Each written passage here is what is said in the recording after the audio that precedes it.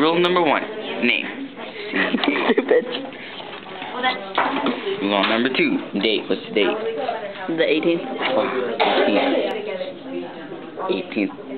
18th. March, April, May. Is it May or June? It's it's May. Five eighteen class. Period. Two. Okay. Annual sales for clothing are two hundred seventy thousand dollars and are increasing at a rate of seven percent per year for three years. I don't know that. hey. Now the weather.